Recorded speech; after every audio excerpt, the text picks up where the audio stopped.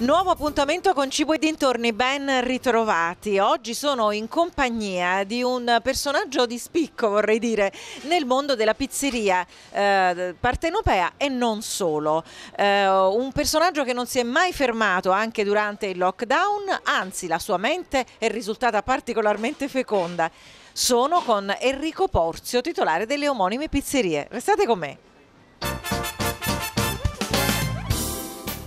Eccolo Enrico Porzio, allora ti ho definito una mente feconda, particolarmente ispirata, vorrei dire, da questo periodo tremendo che abbiamo vissuto, che stiamo ancora vivendo.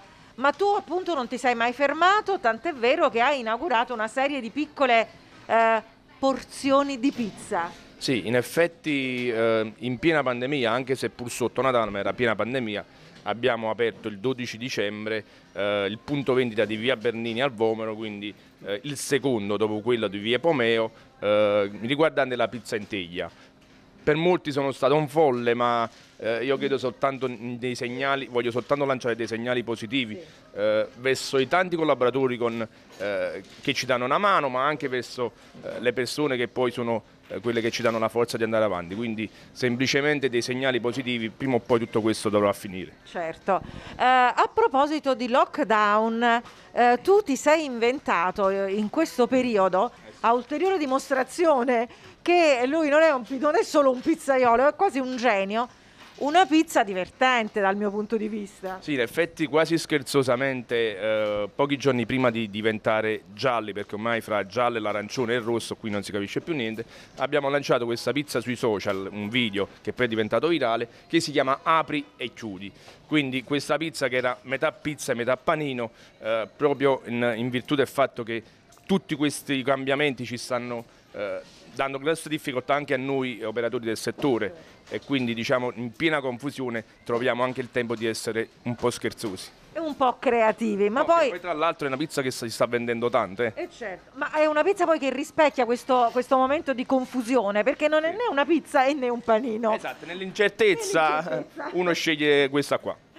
Senti Enrico, ma eh, parlando invece del delivery, dell'asporto, eh, delle pizze che chi sta a casa per forza sceglie eh, che cosa hai riscontrato? Un ritorno alla tradizione o una voglia di evasione con delle novità? Allora è ben noto che noi siamo la pizzeria eh, dei social, quindi eh, l'80% delle nostre pizze sono pizze molto particolari, almeno fino a quando c'era la consumazione ai tavoli. Ritornando alla, alla e a delivery è normale che eh, si sia un po' perso questa abitudine e la tendenza sia verso, le, verso, quella delle pizze tradizionali, quindi margherita, marinara, la pizza fritta, il, il ripieno, la quattro stagioni. Ovviamente quando poi subentriamo in fascia gialla e abbiamo la possibilità di lavorare almeno a pranzo, ricambia di nuovo la situazione e ehm, ci vengono di nuovo riordinate tutte quelle pizze speciali.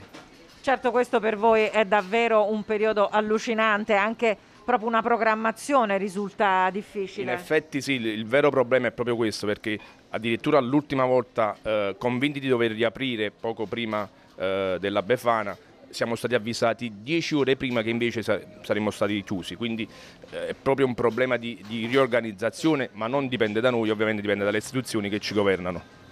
Va bene, ma noi adesso vogliamo vederti all'opera con uno dei tuoi cavalli di battaglia. Qual è la pizza che tu mangi più volentieri? Allora, personalmente vado su, sulla classicità, quindi metà margherita e metà marinara, eh, però ovviamente se ci tenete proprio, visto che, che siamo in un periodo, vi presento proprio la apri e chiudi. La...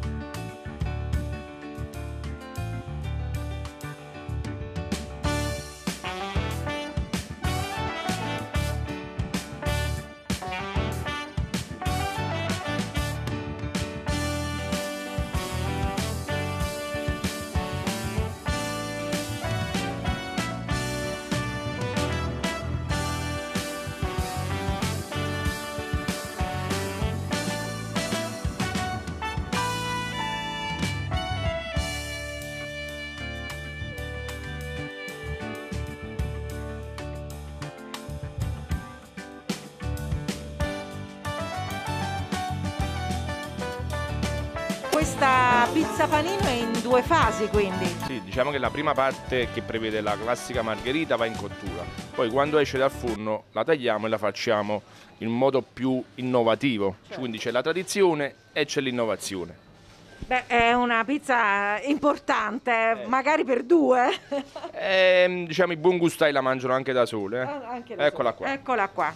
Quindi la parte che non è stata... Allora, la parte margherita, che è questa qua, quella certo. classicità, poi questa parte che si rigonfia all'interno del forno quando è in cottura, la andiamo a tagliare.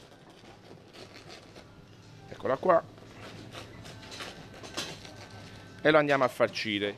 In questo modo noi abbiamo scelto la mortadella, ma è possibile farcilla diciamo, a proprio piacimento, quindi magari anche col crudo, con le salsicce di fiorelli, quindi con la porchetta, lasciamo spazio all'inventiva del cliente. poi, poi andiamo a metterci, sì, questa è burrata, burrata, quindi dopo la mortadella andiamo a metterci la burrata e la completiamo con una pioggia di granella di pistacchi. Eccola qua. Mamma mia ragazzi, vi assicuro che c'è un profumo anche con la mascherina si sente. Allora, questa qui ovviamente ecco qua, è nata, è pronta, è pronta e l'abbiamo chiamata apri e chiudi perché nei periodi gialli apriamo, nei periodi arancioni e rossi chiudiamo, quindi ecco qua la pizza apri e chiudi. La pizza apri e chiudi per celebrare con un sorriso questo momento che passerà sicuramente, sì. passerà anche alla storia, ma insomma passerà.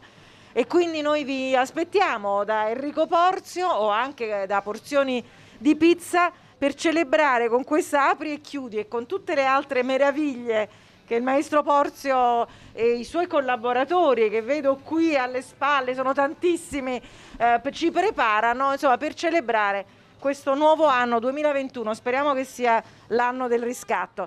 Grazie per essere stati con noi, grazie a Enrico grazie. Porzio, alla prossima. Ciao.